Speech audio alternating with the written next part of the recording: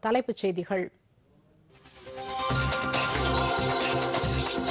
இமாச்சல பிரதேச மாநிலம் உனாதில்லி இடையே வந்தே பாரத் விரைவு ரயில் சேவை. இன்று தொடங்கி வைத்தார் பிரதமர் நரேந்திர மோடி.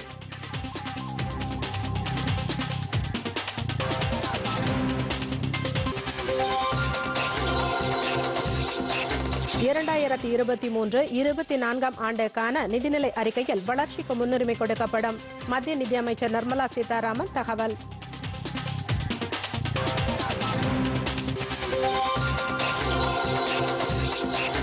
சமையல் எரிவாயு இழப்பீட்டுக்காக எண்ணெய் நிறுவனங்களுக்கு இருபத்தி இரண்டாயிரம் கோடி ரூபாய் மானியம். மத்திய அமைச்சரவை கூட்டத்தில் முடிவு. அமைச்சர் அனுராக் சிங் தாக்கூர்.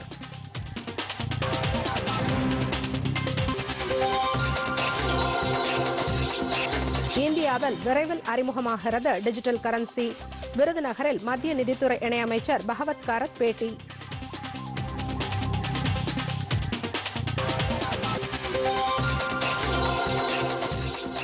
யுக்ரைன் விவகாரத்தில் ரஷ்யாவுக்கு எதிராக ஐநா சபையில் தீர்மானம் நிறைவேற்றம். வாக்கெடுப்பை புறக்கணித்தது இந்தியா.